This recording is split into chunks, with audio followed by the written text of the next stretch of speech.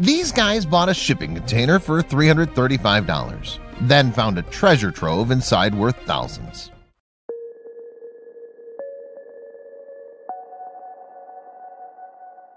But before we start, please make sure to subscribe to Did You Know and hit the bell so you never miss an upload from us. Also, leave a like right now. When three friends decided to bid for a storage container at auction, they had no idea what it might contain.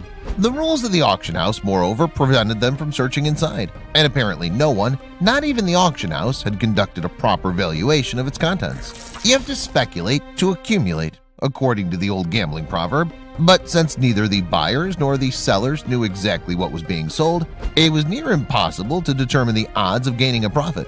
In fact, the container might just as easily have incurred a loss. But the friends decided to bid anyway. If they were lucky after all, they might make a small profit, and if not, better luck next time. However, as it happened, the contents of the mystery container appeared to be worth considerably more than what the guys paid for it.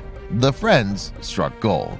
Of course, fans of reality television might be familiar with this scenario. The program Storage Wars, for example, trails auction hunters as they bid for abandoned storage containers, appraise the objects inside, and, if they're lucky, rake in a tidy profit when they sell them. Storage units are considered abandoned and therefore eligible for auction when the renter is three months or more in arrears. Potential buyers are permitted a brief glance of the given unit's contents from an open door, but they're not allowed to scrutinize the goods closely. The container's contents are also sold as a single lot. Anyhow, such auctions have definitely captured the public's imagination, generating several spin-off TV shows, and in some cases, praise from professional critics. For example, Storage Wars was described by the Los Angeles Times as a strangely uplifting show, hope being one of the many things one can apparently find in an abandoned storage unit.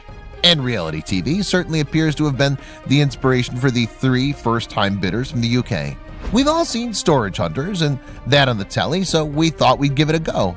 Danny Owens, age 26, from Coulby Newham in Northeast England, told the website Gazette Live.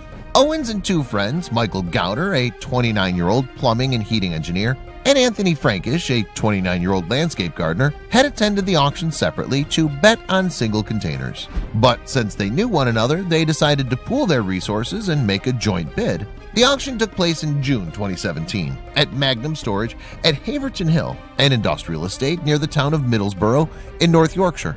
Around 100 people attended to bid on a total of 16 storage containers. Only one of the units, though, has so far turned out to contain a jackpot. On that day, the friends gambled $112 each and managed to outbid a rival group of buyers. I think the other people were a bit gutted they'd missed out, Gowder told Gazette Live. They asked, what did you see in there? So I went, I can see money. At first glance, however, the container appeared to hold little more than a jumble of worthless junk. Miscellaneous piles of hand tools, battered old boxes, and stacks of dusty picture frames littered the interior of the unit, and none of it was particularly valuable or auspicious, at first glance. But on closer examination, there were indeed a number of valuable items hidden among the piles of tat. French wine, for example, bottled during the Nazi occupation, the label indicated that it was bottled in 1943 Chateau Gazin, which sells online for about $315, potentially covering the cost of the entire container.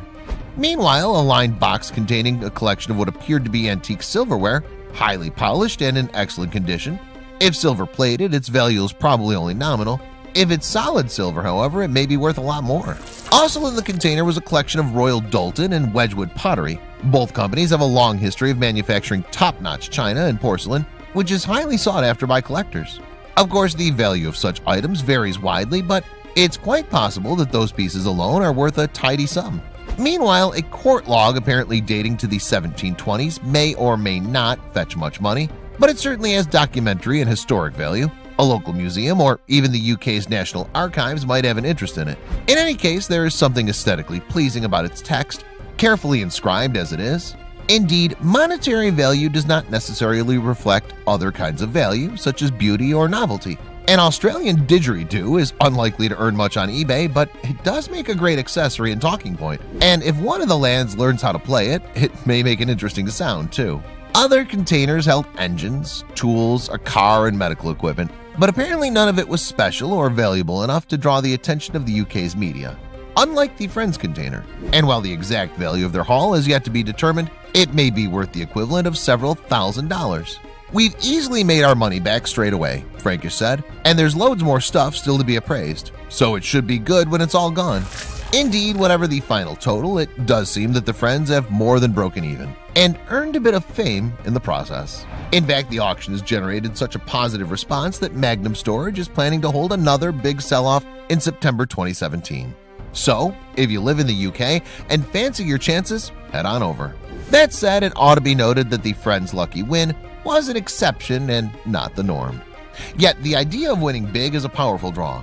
After all, every week millions of people gamble on lotteries around the world or tune in to watch high-stakes game shows. And if you're lucky, you happen to be in the right place at the right time, and you do the right things in the right way, you might just win big too.